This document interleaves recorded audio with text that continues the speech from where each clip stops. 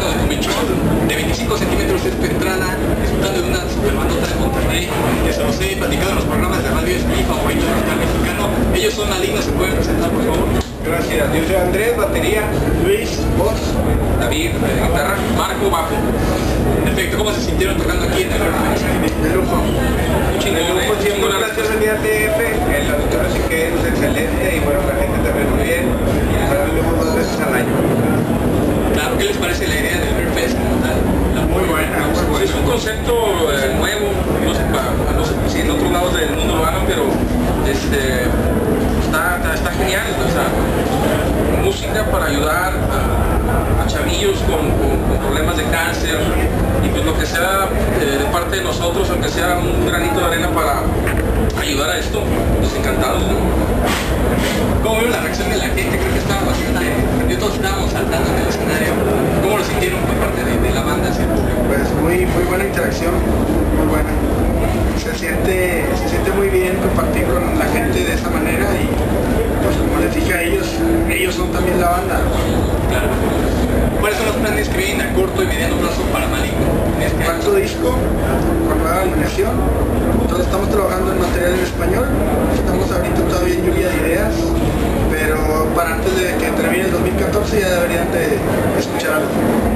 En español, ahora. Siguiente disco que tenemos pensado hacer ese, ese, ese giro, ¿no? Los primeros tres discos los hemos hecho en- con la- las líricas en inglés y queremos hacer algo, cambiarle algo diferente, algo más para, para la raza de, este, de habla hispana, ¿no? ¿Y por qué se dio este cambio del inglés? No sé, no sé, no sé. Todos los proyectos necesitan renovar y todo, todo, Siempre tratamos de hacer algo diferente en cada disco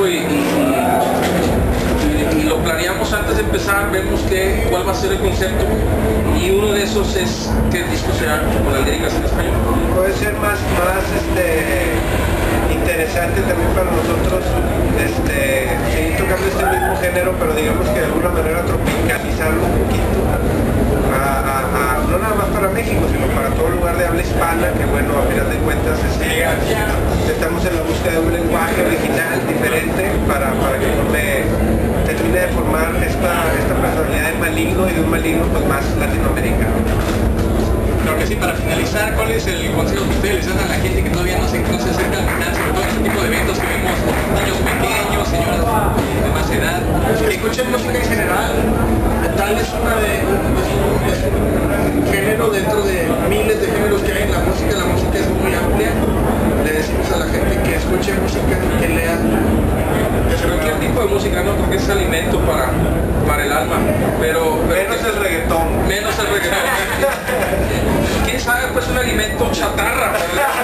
Ah, con unas papitas, con unas papitas, este, no, pues que sigan haciendo tus eventos, si hay gente, si hay apoyo, ya lo dieron, sigan haciendo eventos chidos y Y que qué bueno poder colaborar Invitan a con una Maligno. causa. Qué bueno poder colaborar con una causa que por sí ya es una enfermedad muy difícil. Ahora en niños, pues, más, mucho más triste y, difícil.